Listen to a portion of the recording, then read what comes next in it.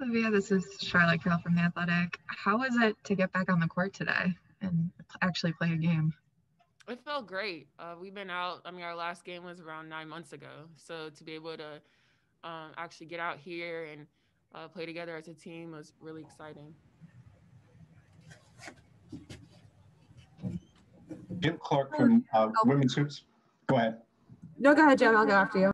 All right. This is Jim Clark from Women's Hoops World. Um, comment a little bit on on what you saw from the the new kids uh, that you really liked and maybe didn't. Um, I saw that we were capable of being aggressive, but as always, that you know we can work on that more. Um, I see that they understand the concepts that, of what we're doing, and they're able to apply that today. And I think as you know we continue to practice and then continue to actually like play, um, and be in those game situations, it can only get better from here.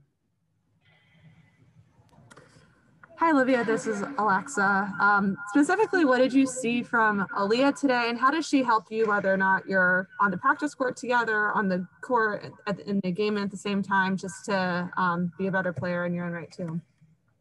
Um, I see, you know, what she really brings is just a, a physicality, and she's super strong. Um, and we were able to see that today, too, regardless of, you know, the offensive fouls and things like that.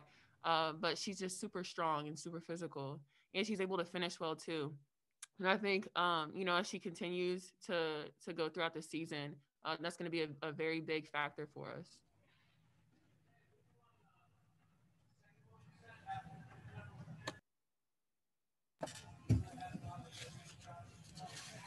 Olivia, it's Carl Adamec at the Journal Inquirer. Um, starting on Tuesday, hopefully you'll play four games in eight days. What will it be like for this team to play game, practice, game, practice, and how do you build on each performance and each practice going through that kind of stretch? Yeah, I mean, you know, being in this program is definitely something that I'm not used to.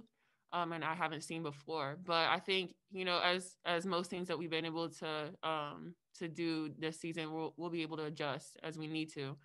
And so, um, regardless if that's like, you know, back to back games like that or, you know, just a quick turnaround, I think we'll be able to adjust well as a team. And um, I think we're just looking forward to just being able to play regardless of the situation. Just to kind of follow up on the youth question, how did it feel actually like on the court? I guess it was talked about like kind of chemistry and how you guys would blend, just how it actually felt pass to pass or play to play with them with the new guys? Yeah, I think we're moving the ball well, and um, I think we are trying to find the open people, regardless of you know we have the the little turnovers, you know, little tip pass things like that.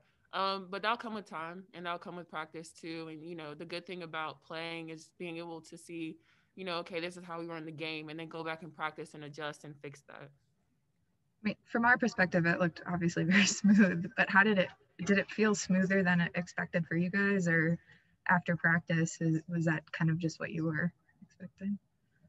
Um i mean like i said before we'll just go back and, and see what we need to work on and things like that. Um you know of course it won't be as smooth as we were in practice you know just being the first game and coming out the gate like that. But um you know we'll just look back and, and adjust how we need to. Thank you.